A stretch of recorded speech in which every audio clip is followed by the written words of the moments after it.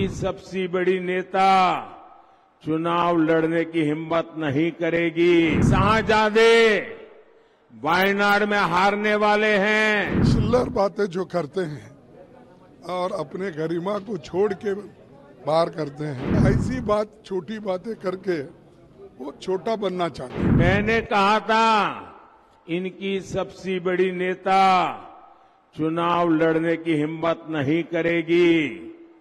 वो डर के मारे भाग जाएगी। और वो भाग करके राजस्थान गई और राजस्थान से राज्यसभा में आई। और हुआ भी यही। मैंने पहले ही बता दिया था कि शाहजादे वायनाड में हारने वाले हैं। लेकिन अमेठी से भी इतना डर गए, इतने डर गए, वहाँ से भागकर अब रायबरेली में खोज रहे हैं रास्ता।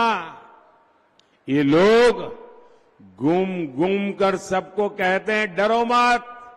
मैं भी आज उन्हें कहता हूँ और बड़े जी भर के कहता हूँ, अरे डरो मत, भागो मत। ये चिल्लर बातें जो करते हैं और अपने गरिमा को छोड़ के बाहर करते हैं इन लोगों को रिप्लाई देने में कोई ये नहीं।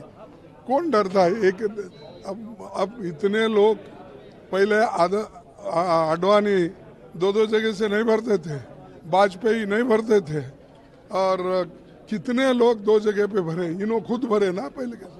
देखो, ऐसी बात, छोटी बातें करके वो छोटा बनना चाहते हैं। नमस्कार, मैं हूँ मानक गुप्ता। अगर आपको हमारा ये वीडियो पसंद आया हो तो इसे लाइक और शेयर ज़रूर करें। और हाँ, हमें सब्सक्राइब और फॉलो करना ना भूलें, ताकि आप देश और दुनिया की कोई खबर मिस ना करें।